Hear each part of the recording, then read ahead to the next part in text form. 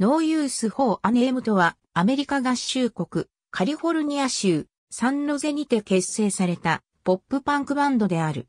結成から20年以上が経つベテランバンドだが、アメリカでは未だに熱狂的な人気を誇っており、幅広い年代層から高い支持を受け続けている。1987年にカリフォルニア州サンノゼにて結成。それから間もなく、ファースト EP、 Turn It Around でデビューを飾った。1989年になると、セカンド EP、 Let 'Em Out EP を発表し、翌年には、ファーストアルバム、 Incognito をリリースしている。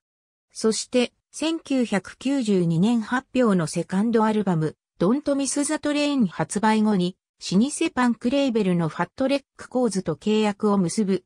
しかしこの頃に、頻繁にメンバーチェンジが行われており、バンド自体も不安定な状態が続いていたという背景もあった。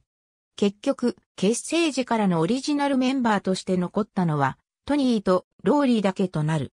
1993年、サードアルバム、ザ・デイリー・グラインドを発表。1995年発表のフォースアルバム、レッチェコンカーン発売後に、クリス・シフレットとマット・リドルを迎え入れ、フィフスアルバム、メイキング・フレンズのレコーディングを開始している。1999年、シックスアルバム、モアベターネス発表後に、クリス・シフレットがフーファイターズに加わるためにバンドを脱退。直後に、新ギタリストとして、デーブ・ナシーを迎え入れる。2002年、セブンスアルバム、ハードロック・ボトムを発表。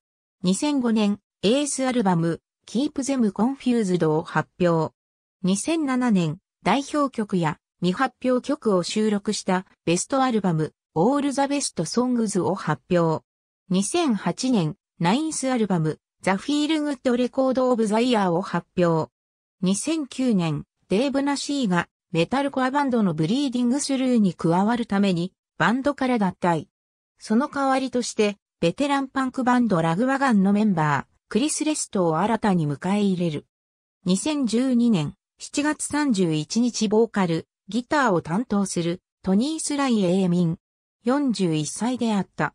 死因等は明らかになっていない。